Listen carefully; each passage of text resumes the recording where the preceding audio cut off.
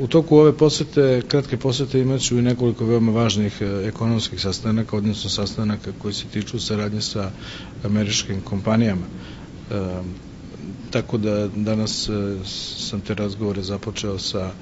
General Electricom, jednom od najvećih kompanija u svetu, kompaniji koja radi u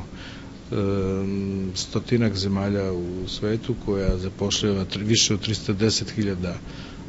ljudi koja ima registrovano više od 50.000 patenata na ime njene kompanije i e, za njih je važno da su oni svoju kancelariju za jugoistok Evrope premestili nedavno u Beograd